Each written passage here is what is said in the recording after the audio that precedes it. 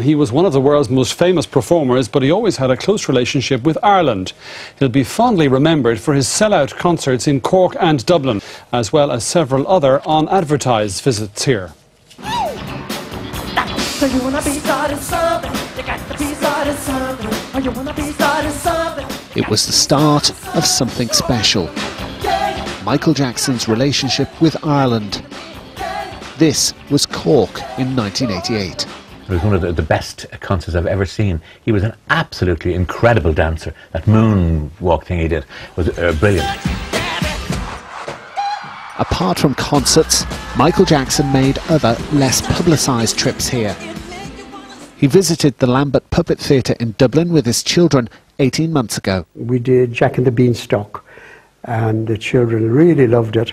We had sweets and and, and, and lemonade, and, and he really was so relaxed. I, I found him such a charming person. Bert Wright recalls another unexpected Jackson visit. He was the manager of a bookstore in Dún when the superstar popped in at midnight. He had his fedora on, his face was covered with a, some kind of a mask, he had shades on, and he was very soft-spoken, uh, paid in uh, $100 bills and left.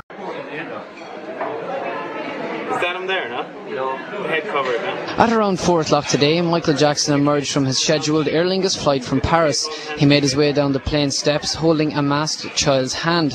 His face and head were covered with a hood, baseball hat and a scarf. With him were at least two adults and two other mask-wearing children. They're believed to be Jackson's three children, Prince Michael, Prince Michael II and Paris.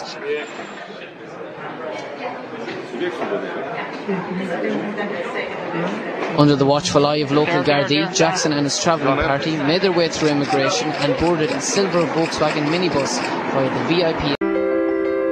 Michael came to Ireland in the summer of 2006. He'd been here before and increasingly found it to be a place where he could feel at home and escape the media frenzy that permanently surrounded him. He didn't want to be in the media center because he felt it was too intense and he was too much under the microscope. Ireland became his sanctuary in the last few years of his life. He even contemplated making it his permanent home. He just loved Ireland for the people, the countryside. Um, it was just a nice place. He found peace there, and loved it, and enjoyed it very, very fondly, absolutely. If Michael would have moved to Ireland, he would still be breathing today. And can you believe what the world's biggest megastar did when he got here? He went for a KFC, Chinese takeaway, and even took his kids to the local bowling alley. Michael came in here like any other visitor centre, just him and his group. They came up, they arrived at the reception counter here, and um, the guys told them they had to change their shoes if they wanted to go bowling. And the people that were here bowling looked at what looked like Michael Jackson, but I don't think anyone was really convinced that, you know, that this could be Michael Jackson on a Saturday night until more either. The, one of the mementos we kept of his night's visit here was, you know, was Michael Jackson's bowling shoes. Um, no one has worn them since uh, they were worn that night by Michael. A rare glimpse of family life for Michael Jackson. Three years ago, the superstar visited Jumpin' Jack's leisure complex in Tullamore. The CCTV footage has just been released now. Just before they, they arrived in with the children, they told me that it was Michael Jackson and his three children. So needless to say, we got a, a big surprise. Um, they arrived in and they were um, very ordinary and very friendly. Um, they came in and he got into the play unit and played with them and they just had um, great fun in, in the play centre. On the two occasions he visited the complex with his three children, it appeared to be a normal family outing and Jackson a doting father. Very friendly, very courteous, um, just seemed to be a guy that was happy, you know, to have a night out with the family, um, like anyone else would do here. Uh, you know, there was no pressure on them, and he could just he just acted normal for the for the three hours that were here. You know, just played, had their food, served this food to the kids, and you know, just everyone just mixed, and you know, it was a very relaxed atmosphere there.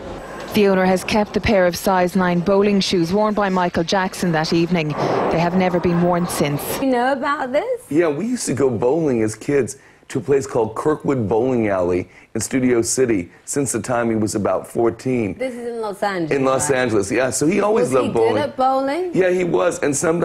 And what about KFC? Did you get that? I, I was the one that told everybody that he used to go to KFC. We'd go there three to four times a week. He'd take off the skin and then say it's organic. and then we'd get in food fights, and I'd take the mashed potatoes, throw them in his face, and he'd throw them right back at me. And so, so what about Ireland? Did he ever talk to you about why he loved this place so much? He told me that he loved Ireland, that there was a special feeling, tranquil, because of all the green valleys, the fields, and the mm. people. He loved nature, didn't He loved nature, he loved animals, and the people were so wonderful. He could be himself here, and he could bring his children here. Really, he could relax in a way that he couldn't relax anywhere else. Was, True. Was he happy here? Very happy.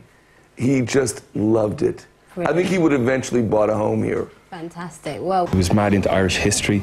Um, you know, started getting into Irish music as well, um, and was very knowledgeable. You know, uh, he, he he wasn't living in a bubble. He was very aware of what was going on around the world, um, and but he was just so uh, relaxed. Um, uh, and it was, as I said, it was great that the Irish just left him alone.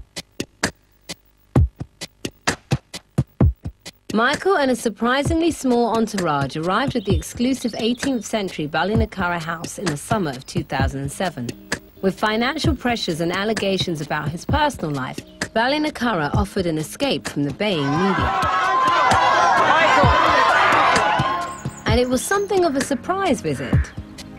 We had had a call and we knew that someone was coming down here to look at uh, the property with a view to staying for a little while. We didn't really know that it was Michael Jackson until the door uh, opened and out popped this superstar. I guess you could have pushed me over with a feather. It was like, who's this? Is this for real? With 22 bedrooms to choose from, Michael went for the Balinese themed suite. He decided that this was the room that he wanted to stay in because, um, for the obvious reasons, that the, the kids' playground was down here, and he was writing his album here, and been able to watch the kids and supervise them and have, you know, a bit of enjoyment just seeing them having fun outside. Jackson soon settled into life at Ballinacurra House. Though desperate for a normal existence for himself and his family, he did make the odd pop star demand. One of the most unusual requests which um, he made of us was to, um, at night time, would I put all the lights on in the property? I got a little bit intrigued by this, wondering what he was doing, and I popped my head through the hedge, and there was Michael Jackson moonwalking in the moonlight. It was quite a, an eerie scene seeing this pop icon practicing his dance moves in our front garden here. Listening to Des, Michael's stay at Ballinacurra House was clearly a very happy time for both him and his children. He was beautiful, great to deal with, and very down to earth, which you know defies a lot of the um, so-called image of the, these superstars in him as well.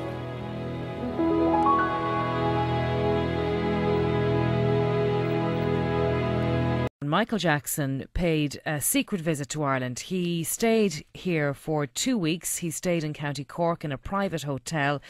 Ballinacurra House was the name of that hotel, and its owner has never spoken about that visit until this morning. And he joins us now. Des McGahan, you're very welcome to the programme. Yes, good morning, Claire. How are you? I'm very well. Des, you haven't spoken about this because you weren't allowed to.